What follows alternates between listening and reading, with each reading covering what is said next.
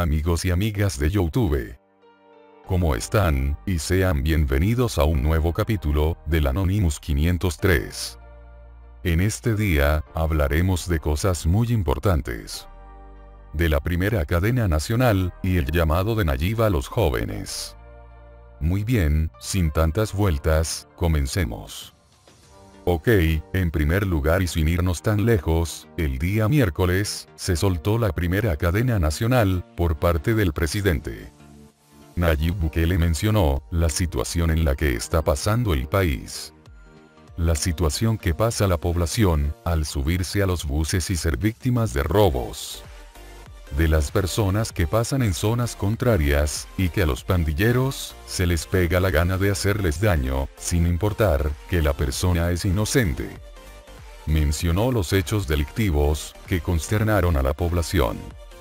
Habló acerca de los cambios, que él ha hecho en las anteriores fases.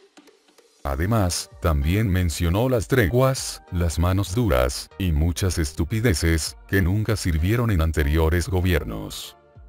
Y también, dijo lo siguiente. Y se estarán preguntando, ¿qué sabe el presidente de andar en bus? Él anda en una caravana con seguridad, sabiendo que si bien puede ser víctima de otro tipo de violencia, nunca lo afectará la delincuencia común. Nunca. Tengo claridad de esto. Yo tengo resuelto el problema de la inseguridad por la delincuencia común, de por vida. Porque al terminar este periodo presidencial, el Estado me va a seguir dando seguridad para mí y mi familia, como se hace con todos los expresidentes. Pero yo no estoy acá por mi seguridad. No estoy acá porque yo viva con ese tipo de miedo. Si acaso temo por mi familia y por mí mismo, no es por la delincuencia común. Ellos ni siquiera se acercarían, eso lo tengo claro. Estoy acá porque desde el momento en que el pueblo salvadoreño me dio el mandato de dirigir nuestro país, este problema que afecta a todos también es mío. Se convirtió en mi principal problema. Me preocupa y me compromete con cada salvadoreño que ha sido asaltado, extorsionado, abusado, desaparecido, con las familias que han sufrido perder un familiar e incluso me compromete con cada persona que ha sido excluida socialmente. Me compromete a mí y a mi gabinete de gobierno para que otra generación más no se pierda, para que no estemos dentro de 10 años cometiendo de nuevo los errores del pasado. Pero El Salvador y nuestro pueblo no solo necesita de mi compromiso, necesitamos el compromiso de todos, de los jueces, de los fiscales, de los magistrados, de los medios de comunicación. Y en esta ocasión necesitamos de los 84 diputados de la Asamblea Legislativa, que igual que a mí, no les afecta en nada la violencia social de manera directa porque tienen asignada seguridad del Estado, pagada con los impuestos de todos ustedes. Ellos, que tampoco se suben a los buses, ni ellos ni sus familias, y que además tienen todo mucho más fácil, ellos también tienen que sentirse comprometidos con el pueblo y hacer su trabajo. Muchos han olvidado, tanto en la Asamblea Legislativa como en gobiernos anteriores, que la clase política tiene muchos privilegios, que la gran mayoría del pueblo salvadoreño no tiene. Aquí estoy yo, hablándoles desde este palacio, pagado de dinero del pueblo salvadoreño, ellos, quienes también tienen su palacio legislativo, también pagados los impuestos del pueblo. Sus salarios, sus bonos, sus viáticos, sus PPI, sus viajes, seguros, todo, pagado con el dinero del pueblo. Lo que se esperaría de nosotros, al menos, es que trabajemos y nos dediquemos a solucionar los problemas de la gente. Lo menos que podemos hacer es trabajar. Los salvadoreños pagan nuestra seguridad. Lo menos que podemos hacer es dejar de poner excusas y resolver los problemas de la gente que nos eligió. Lo menos que podemos hacer es trabajar para que la seguridad no sea exclusiva de un grupo, sino de todos los salvadoreños.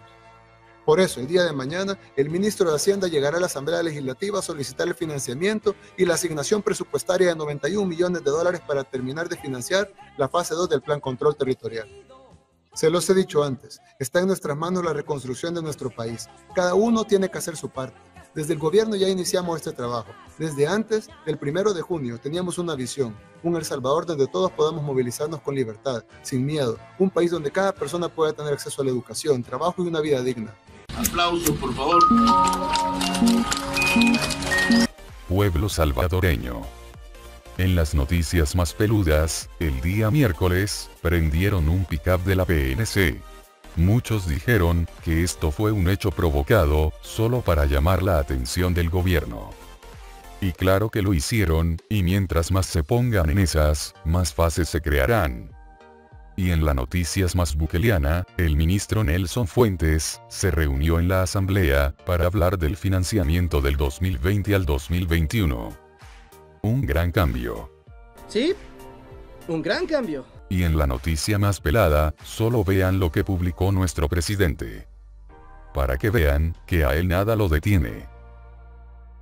Bien pensado, Woody. Y si se va la energía eléctrica, crearemos una alternativa.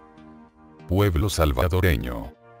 Y en las malas y buenas noticias, depende de cómo lo veas, la primera dama tendrá un breve descanso. ¡Por un demonio, lo que faltaba!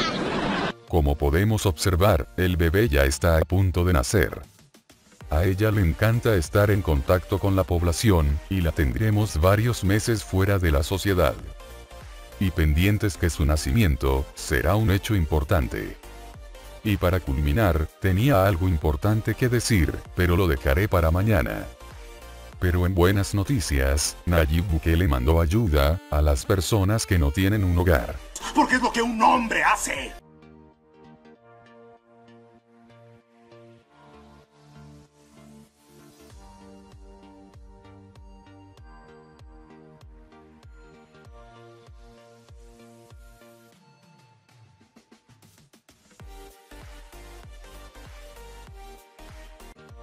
Las colocó en casas de refugio, y les mandó camas para que estén tranquilos.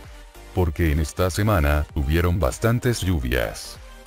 Muy bien, damas y caballeros me despido. Perdónenme por no estar activado, pero he tenido muchos, pero muchos problemas. Y sé que les debo el video completo, del spot que creé. Pero hay escenas que tienen copyright.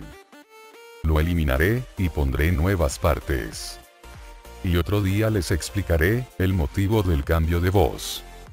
Suscríbete, y dale like. Comparte, y recuerda que puedes patrocinar el canal, en mi cuenta de Paypal. Nos veremos en la próxima. Adiós.